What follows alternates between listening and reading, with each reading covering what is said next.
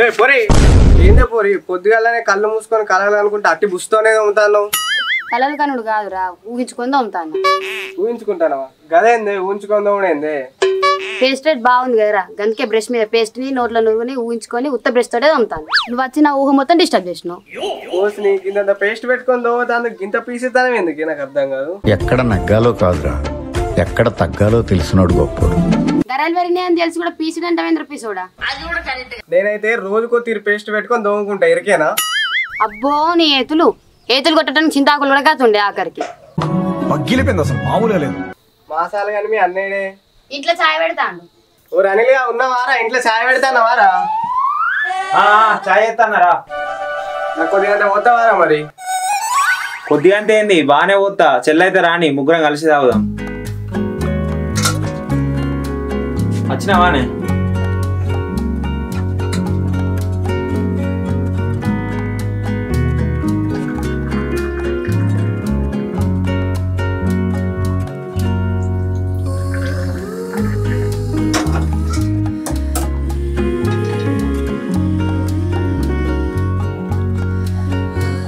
ఆవిడ ఆవిడేందుకు రావాలి కన్నా మొక్కుతా ఏంది?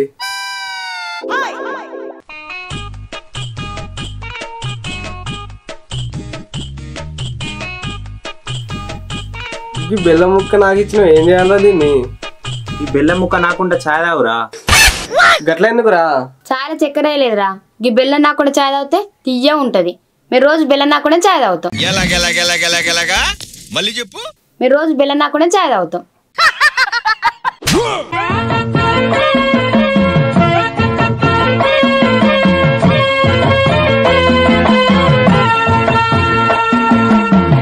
ఏందిరా? ఛాయలో చక్కెరేసుడు బంద్ చేసి బెల్లం నాకుండా ఛాయ్ కూడా ఏందిరా చక్కెర ధర పిరమైంది కారా అందుకే ఇట్లా బెల్లంతోనే ఇలా తీసుకుంటాను ఈ బెల్లానికి కూడా పైసలు అయితే కారా మరి? దీన్ని కూడా కొనుడే కదా. కొనుడెక్కడిదిరా మొన్న సమ్మకలప్పుడు ఆలో లీలో బెల్లం మంచి పెడితే నేను ఇంత మా చెల్లింత పోయి తెచ్చుకున్నాం. మరి బెల్లాన్ని ఇట్లా నాకుండా ఛాయ్ బదులు బెల్లానే ఛాయలు అయితే కారా? అట్లా అయితే బెల్లం చెప్పిన నడుతారా ఇట్లా అయితే టక్క నడువది ఈ బెల్లం తోటి మళ్ళీ వచ్చి సమ్మక్కల్లాకి వెళ్ళి తిత్తాం ఈ బెల్లం తోటి మళ్ళీ వచ్చి సమ్మక్కల్లాకి వెళ్ళి తిత్తాం ఎస్ పర్ఫెక్ట్ మంచిగా ఉన్నారా మీరు? మీ ఛాయ్ కోదండ మీ బెల్లానికి కోదండు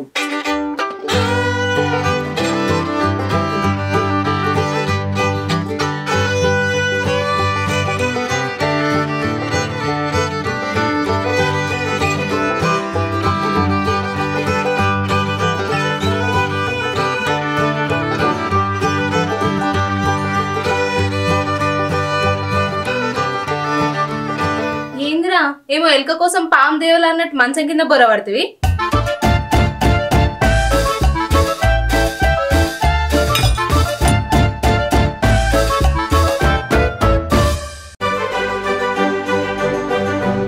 పప్పు కొడకందని పోతా అంటే ఒక పప్పు ముక్క గిన్నెలకి కింద పడ్డదే.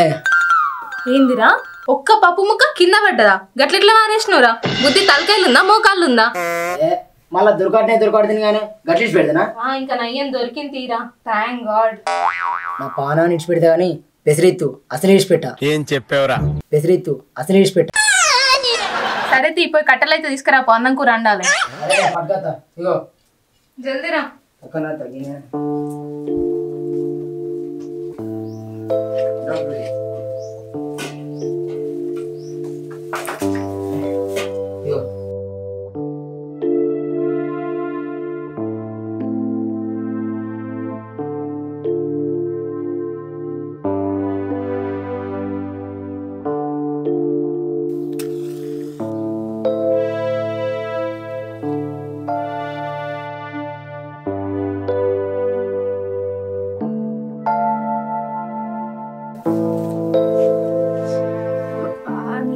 నీ అవ్వ, అంటుకో రాదే పొగంత కళ్ళ సుత్తంది ఎండిన కట్టెలు తెస్తే ఏమైందిరా? ఏ ఇండినే తెచ్చిందే? మనతలేవా గట్టి పోదు ఇంకెంతకని ఊదుడ్రా? ఊది ఊది ఊపిరి వెళ్ళిపోతుంది. ఏమైందే? పోగంత దూరంగా పొయ్యితో కుస్తీ పడతాను. కుస్తీ పడుడు కాదురా కూడండుతన్నా.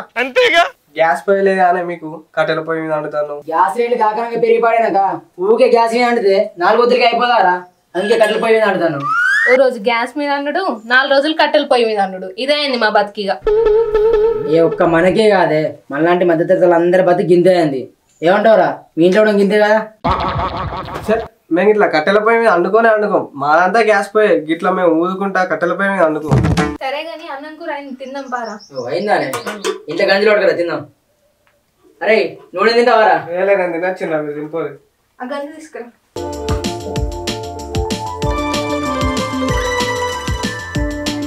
పప్పు మంచిగా నువ్వు ఇయ్యాల అవును మంచిగా కుదిరింది.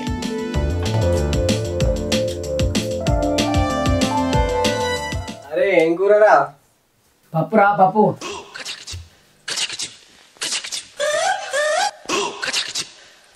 ఏ పోరాలు ఏంద్రా ఇది? పప్పుని చూసుకుంటూ ఉత్తానం తింటారు.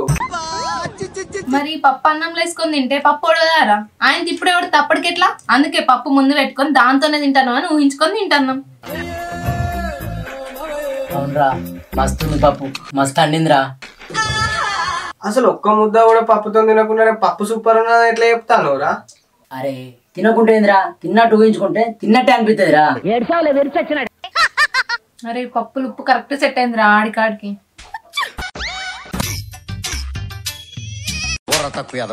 నువ్వు కూడా తినరాదురా పప్పుతోని మంచిగా ఉన్నది.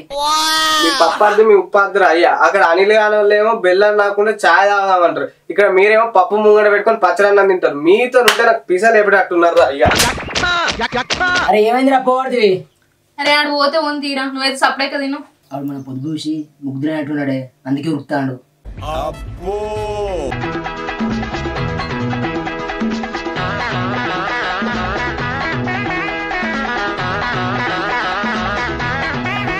ఎంత దింపినా కానీ ఇంతే తిరుగుతుంది ఏంది ఇది? అట్నే నింపుకుంటుండ్రు అదే తిరుగుతాయి మన కోసం. చెమట పోతుందని ఫ్యాన్ దింపితే. తింపి తింపి ఇంకెక్కువ చెమట వస్తుంది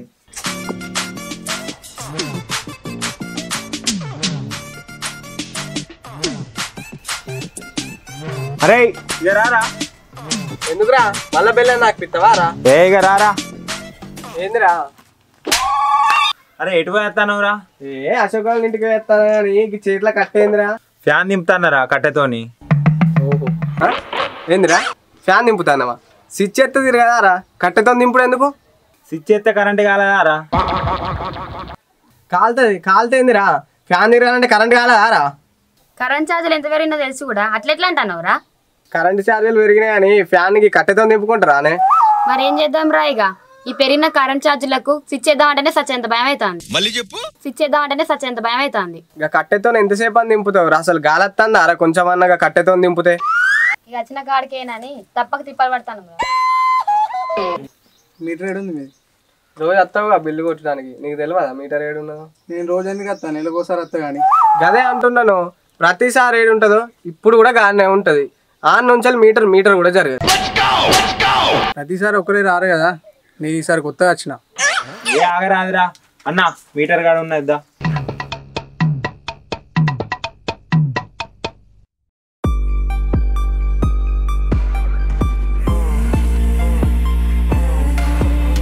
ఏందిరా? ఆయన బిల్లు కొడతా అంటే నీ గుండె గంత సప్పుడు వస్తుంది? అరే కరెంటు బిల్ ఎంత వస్తుందో అని గుండె గుబ్బెలు గుబ్బెలు అంటాందిరా ఓ అన్న మంచి కొట్టు. బిల్లు బాగా రానియకు. అదేమున్నది? రీడింగ్ ఎంత ఉంటే బిల్ అంత వస్తుంది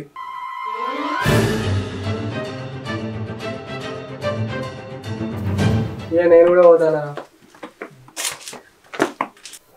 కొండగట్ట అంజన్న ఏమన్నాడ? రాజన్న బిల్లు తక్కువ రావాలి.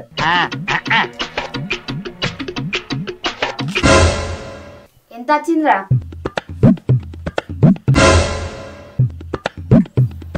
ఏమైందిరా? ఎంత వచ్చింది కరెంటు బిల్లు? ముప్పై ఐదు వందలు వచ్చింది బిల్లు? గంతాన కరెంట్ బిల్ వచ్చింది అయినా మనం గంతాన ఏం వాడినామే? మరి ఒక్క బుక్కకి ఇంత బిల్ వచ్చుడైందే ఏమోరా ఈ బిల్లు పాడుగాను. ఆడు బిల్లు బరాబరి కొట్టిందా లేకుంటే ఊరందరిది మనకే కొట్టిండే? అరే ఒకసారి బిల్లు చూడరా మనం వాడుకున్న కరెంటు ముప్పై యూనిట్లేరా ఆ ముప్పై యూనిట్లకు వచ్చిన బిల్లు తొంభై రూపాయలేరా మరి ముప్పై వందలు ఎట్లా వచ్చిందే బిల్లు? అరే వెయ్యి రూపాయలేమో సర్వీస్ ఛార్జ్ వెయ్యి రూపాయలేమో సిస్ వెయ్యి రూపాయలేమో డెవలప్మెంట్ ఛార్జ్ ఇంకో మూడు వందలేమో ఈ బిల్లు కొట్టించినందుకు పేపర్ ఛార్జ్ అట ఇంకో నూట పది రూపాయలేమో అడిషనల్ ఛార్జ్ అట్రా. వాడుకున్న బిల్లు కంటే వాడుకున్న బిల్లు గింత వచ్చిందే గింతన కరెంట్ బిల్ అయితే మనం ఎటు కట్టుడు ఈ ఛార్జ్ ఆ ఛార్జ్ అని మరి రక్తం తాగుతురేందే వీళ్ళు? జనాల రక్తం బాగా తీయగున్నట్టుందిరా ఈ గవర్నమెంట్ వాళ్ళకి. వాడుకున్న బిల్లు తొంభై రూపాయలు. ఇంత వసూలు చేసింది మూడు వేల నాలుగు వందల పది రూపాయలు. ఇంత వసూలు చేసి ఏం చేస్తారే ఇండ్లు అర్థం కాకపోవడానికి ఏముందిరా రైతులకు ఇరవై నాలుగు గంటలు ఉచిత కరెంట్ బిల్ అని ఇచ్చి ఆ పైసలన్నీ ఇండ్ల కరెంట్ బిల్లుల మీద వసూలు చేస్తారు సరే ఇక బా ఇంకా చల్ల చెట్టు కింద కూర్చున్నాం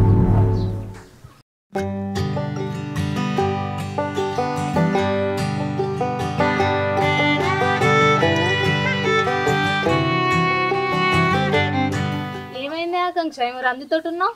రందితోడు కాకుండా రాఫింగ్ బుద్ధి లెక్క కూడా కూకోవాలా అయ్యో గంత ఫ్రస్ట్రేషన్ ఎందుకే? ఏం చెప్పమంటావే చెల్లె మా బాధ? ఇది ఒక్కరికే ఉన్నాడు చెప్తున్నావు బాధలు. ఏ గట్ల కాదురా. రోజు రోజు కనెక్ట్ పెరుగుతురాం కాబట్టి. మనసు సామాన్య జనం బతుకురా అని ఉన్నా. అవునే ఈ రేట్లు ఏబట్టి కడుపు నిండా తినుడైతలేదు కంటి నిండా నిద్ర అవుడైతలేదు పప్పు ఉప్పుతో సహా అన్ని నిత్యావసర ధరలు పిరమగుట్ల కూర వండుకొని తినుడే అయితలేదు. ఇంకా కరెంట్ ఛార్జీలు పెరిగినాయని కూలరో ఫ్యానో వేసుకోకపోతే ఆ చెమటలకు నిద్ర కూడా పడతలేదు. అవునరా మా తిండి చూసి పొద్దుగాల విష్ణువాడు పేర్లు పెట్టుకుంటూ వేడు పొదుపు చూసి మమ్మాలి కూడా పీచులని పొద్దుగాల పేర్లు పోయినారు ధరలకు భయపడి మనం చేసే పొదుపుని చూసి వాడు మనం పేర్లు పెడతాను మనకి ధరలు పెరుగుతలేవా? ఆడెట్లు కూడా ఇంత రేట్లు పెట్టి ఇవన్నీ? అవురా నిజమే. మనకేమన్నా అగ్గు ధర కత్తానే? రా అన్ని. నాకేదో డౌట్ కొడుతుంది ఒకసారి అయితే వాళ్ళ ఇంటికి పోయి చూద్దామా? అవురా పోయి చూద్దాం కథ ఏందో అర్థమైంది. పోయి చూద్దాం పారు. అరే ఆడి ఇంట్లో ఏం చేస్తాడు? కిట్లకి వెళ్దాం చూద్దామా రా.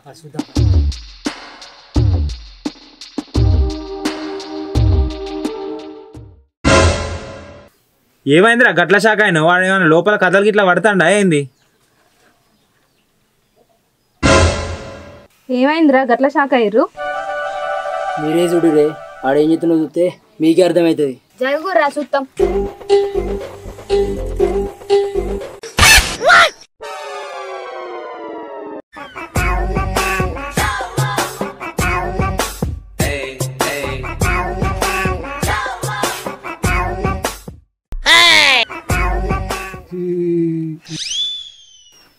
అరే రారా బయటికి రారా రే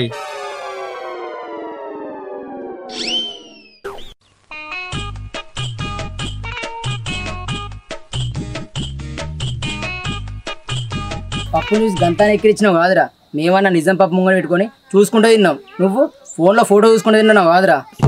మేము ఇంకా బెల్లం నాకుండా చాయ్ అవుతే పిసితానం అంటే కారా మేమన్నా నిజాన్ని వెళ్ళాను నాకు కానీ నువ్వు ఫోన్లో ఫోటో పెట్టుకొని ఫోనే నాకు తట్టున్నావు కాదురా. మమ్మల్ని చూసి గంతగానం బిల్డప్ ఇత్తి కాదురా. మేము పీసులం అయితే ఇప్పుడు నేనేమంటారా మరి? ఏ మీకు ఎట్లయితే కరువు ఉన్నదో నాకు కూడా గట్టినే కరువు ఉన్నది కానీ ఏదో మీ ముంగట బిల్డప్ ఇచ్చినాక అంతే మాకు కూడా నీ మీద డౌట్ వచ్చే నువ్వు ఏ మొగోడు చూద్దామని వచ్చినావు రా. మరి ఏ పాట మగన్నావు తెలిసిందారా తెలిసిందిరా ఆకులు నాకేటోనికి మూతులు నాకేటోను అని నైనా కాడికి మాసాడు కానీ పోయి చేయగాడికి వచ్చుకుపో పోనర్రా కడకచ్చుకపో గా చెట్టు కింద పోదాం కడుక్కునుడు ఎందుకురా? గీంత దానికి ఉత్త నీళ్ళు వేస్ట్ కాదా? కాడిది. ఏమున్నావురా? సరే కానీ ఇక చెట్టు కింద పోదాంపా నాడు.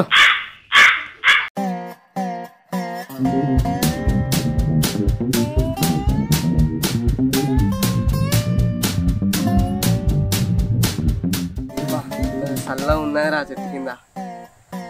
కింద అసలుకి రేట్లు పెంచేది ఎవర్రా? కొద్ది కూడా జాలి దాయ లేకుండా దారుణంగా రేట్లు పెంచుకుంటూ పోతాండు ఇంకా వాళ్ళే ధరలు పెంచేది మన గవర్నమెంట్ వాళ్ళే. గవర్నమెంట్ వాడైందే పెరిగిన రేట్లు తగ్గి అన్న తక్కువ ఉన్న రేట్లు పెంచుతుండు.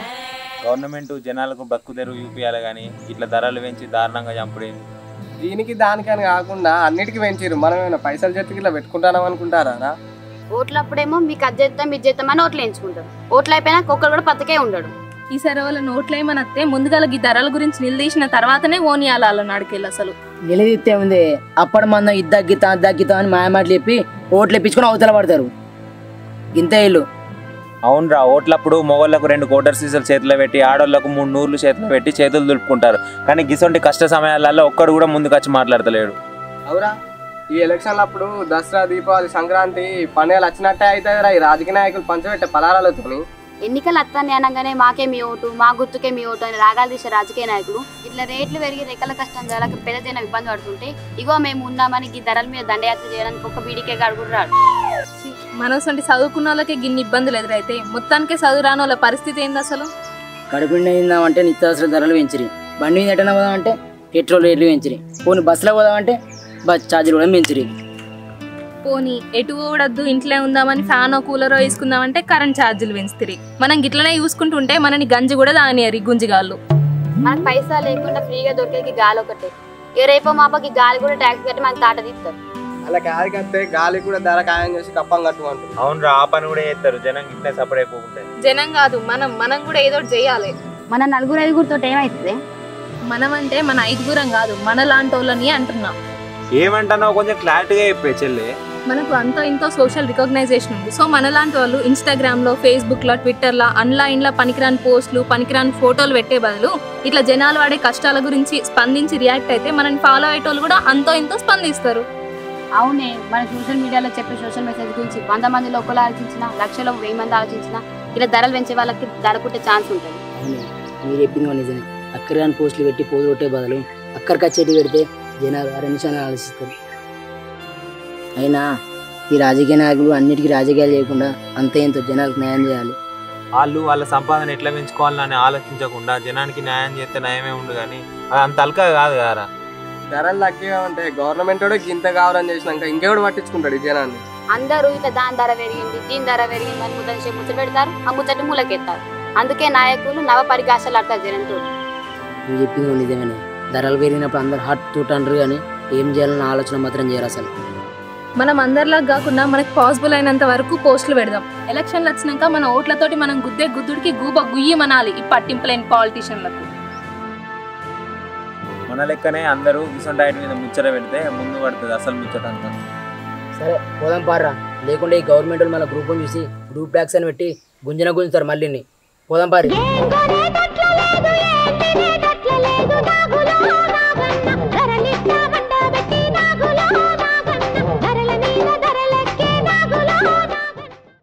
Hi friends. Welcome to our channel. ఈ వీడియో కనుక మీకు నచ్చినట్టయితే లైక్ చేయండి. షేర్ చేయండి. కామెంట్ చేయండి. అలాగే మరిన్ని మంచి మంచి వీడియోల కోసం మన ఛానల్ని సబ్స్క్రైబ్ చేయండి. అలానే గంట కూడా కొట్టండి.